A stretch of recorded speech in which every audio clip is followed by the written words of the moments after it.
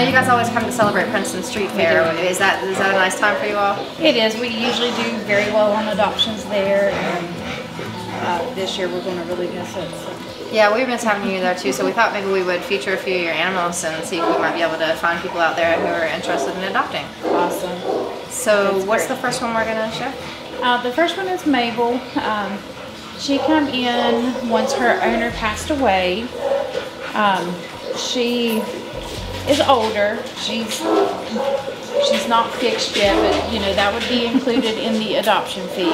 She's strong.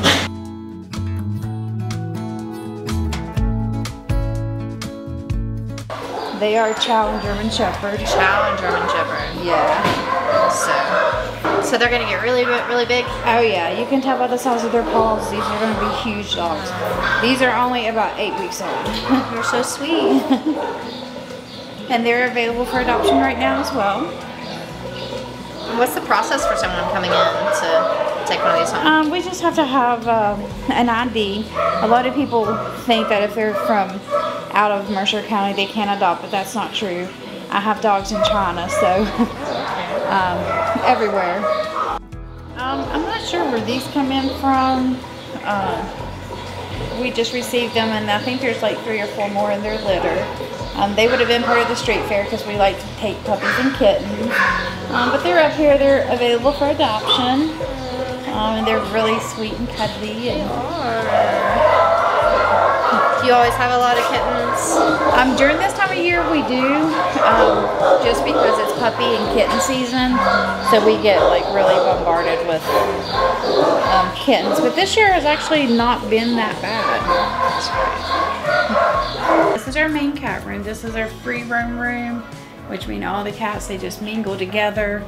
Um, you have some in the cages, but those don't get along, um, so we have to keep them separated. When the cat comes in, we hold them in the back um, for 10 days to make sure there's no diseases or anything, and then we bring them up here. Males are then neutered, and then in here is our nursery. That's a messy one. Um, this is basically just a room for pregnant or nursing moms.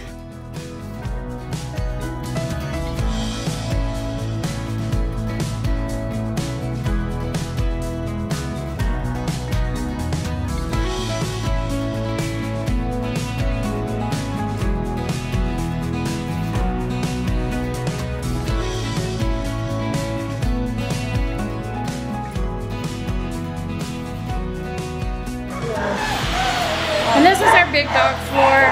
Um, this is where we have all of our big dogs, but most, as you see, all of that is empty. We use that for animal control when they bring stuff in. And then, then on down this way is our adoptable dogs.